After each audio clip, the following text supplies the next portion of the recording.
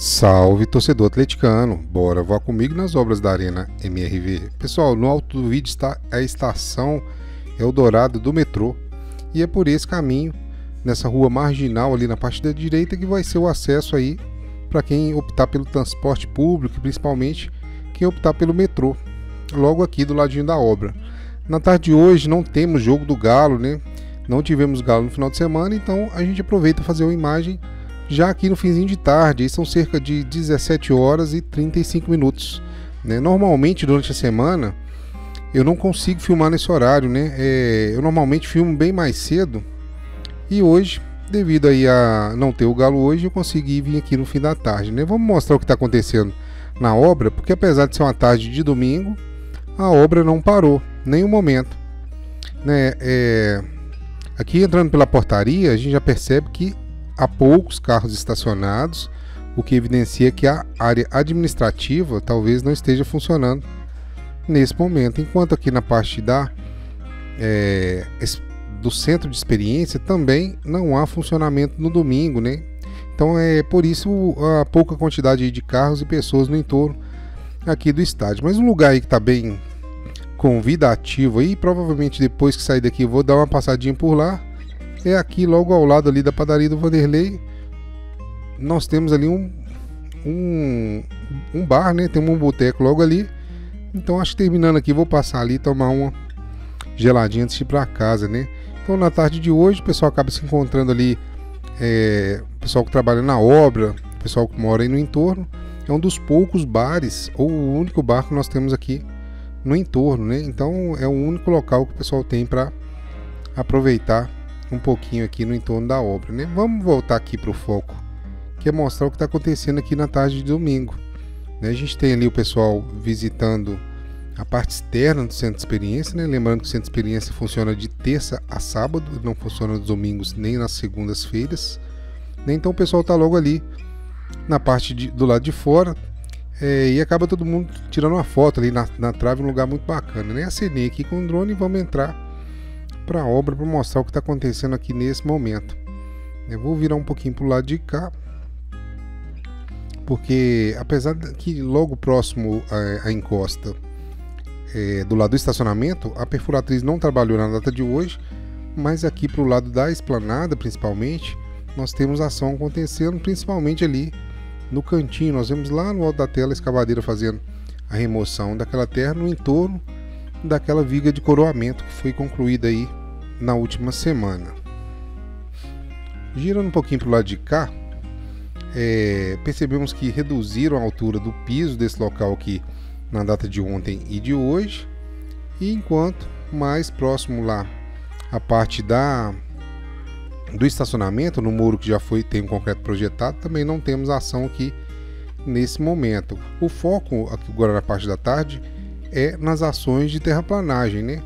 É ali mais para a parte do lado de cá. Vamos virar o drone para o outro lado e vamos descer aqui junto à encosta, aproveitando aqui o sol da tarde, né? Facilita para a gente filmar desse lado indo para o lado de lá. Então, junto aqui à encosta, não temos movimentação agora, porque a ação ela está acontecendo lá na parte baixa. Né? A gente percebe já daqui que o caminhão acabou de deixar um volume de terra ali na parte da cabeceira do córrego e ele está fazendo ali o, o, trabalho de nivelamento dessa terra ali no local, né? Tá ali, cada camada dessa sobe bastante, muito rápido, porque é uma área muito pequena, né?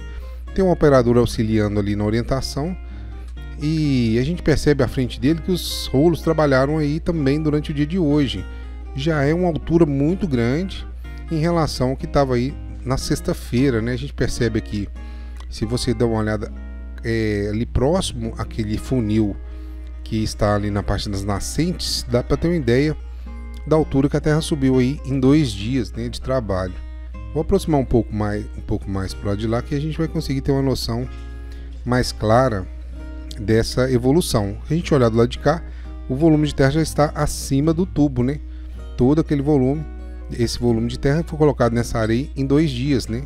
E logo logo vou integrar essa parte com aquela, ainda não sabemos como.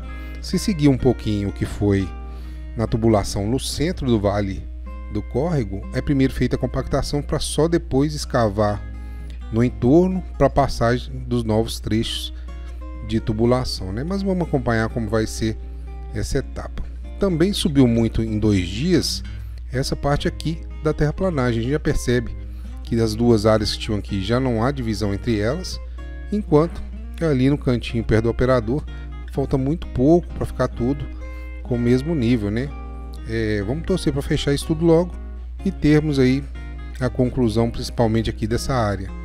É, vamos passar um pouquinho aqui pela parte central da esplanada, onde a gente tem aqui o trabalho de remoção da terra no entorno aqui das estacas e dessa viga de coroamento já foi concretada e só está faltando um finalzinho ali para retirarem essas, essas mantas que ficam úmidas ali por cima do concreto, né? Vamos acompanhar um pouquinho aqui o trabalho do operador e eles vão remover toda essa terra que está bem próxima ali das estacas, vão expor toda a estrutura, né? Bem como a gente acompanhou um pouco mais à frente. Essa área onde a escavadeira está trabalhando agora, ela foi durante algum tempo depósito daquela do resíduo da perfuração com as estacas raiz que aconteceram aí pertinho, né? Então formou-se uma piscina, digamos assim, né? podemos dizer assim, dessa água que era residual da perfuração. E, e essa lama que fica ali por cima é o resíduo daquela perfuração que foi utilizada com as estacas raiz. Então ele vai fazer esse trabalho aí de remoção dessa terra próxima às estacas e depois eles vêm com a reta escavadeira que tem uma concha mais fina, né, que vai fazer um trabalho mais preciso, vai remover a terra entre as estacas ali para fazer um trabalho mais fino, né, de ajuste final, assim que essa máquina terminar é, esse trabalho mais é, bruto, né, vai fazer esse primeiro, primeiro, esse primeiro trabalho e depois vem a reta escavadeira fazendo trabalho mais mais fino para ficar conforme a gente vê um pouco ali mais à frente, né? onde tem a viga de coroamento e as vigas abaixo todas expostas, né? E logo logo vão começar a concretar aqui essa área. No canto direito aqui da imagem, a gente virando para o lado de cá, a gente percebe as últimas duas, os últimos dois batistacas é, que estavam aqui na obra, né? Eles estão armazenados aqui, provavelmente já estejam indo embora.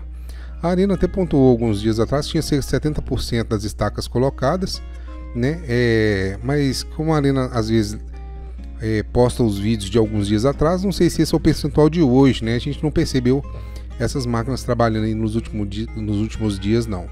Então, pessoal, esse foi o vídeo de hoje. Se gostaram, deixem um like, compartilhem, inscrevam-se no nosso canal.